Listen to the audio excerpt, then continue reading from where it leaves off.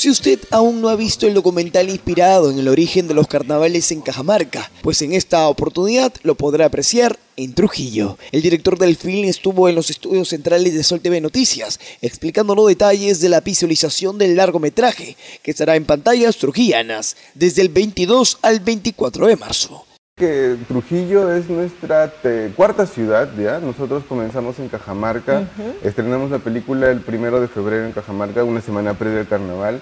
Y la verdad es que es un estreno muy, muy eh, hermoso y satisfactorio para nosotros, porque sí, hemos estado como cuatro semanas en una cartelera comercial que de por sí ya es difícil eh, para el cine peruano y para el documental sobre todo. Entonces, eh, estamos muy orgullosos y emocionados por eso también. Entonces, eh, la película en Cajamarca ha tenido un éxito muy, muy, muy bonito con todas las personas que han ido a verla, a verla en una sala de cine.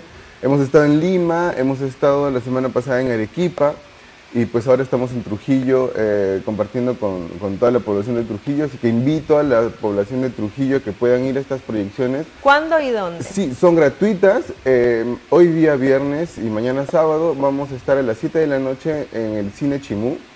Y el domingo hay una función eh, al aire libre en la concha acústica a las 7 de la noche también. El director José Osorio señaló que el documental Carnaval, la fiesta entre la carne y el espíritu, es el primer largometraje peruano que revive la historia, tradición y evolución del carnaval de Cajamarca, que ha logrado más de 5.000 espectadores en su primera semana de estreno en la región cajamarquina. Nosotros venimos ya investigando este, esta fiesta ya hace como desde el 2017.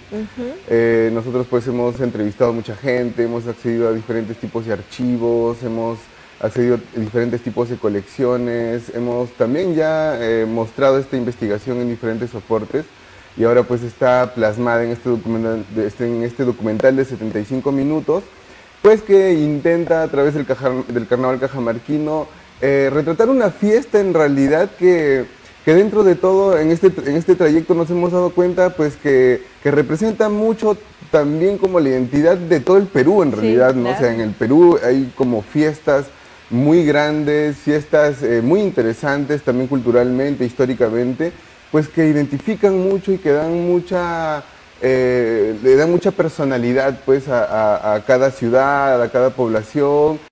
La producción de este documental fue posible gracias a los estímulos económicos para la cinematografía y el audiovisual del Ministerio de Cultura, obtenidos en el Concurso Nacional de Proyectos de Documental en el año 2022.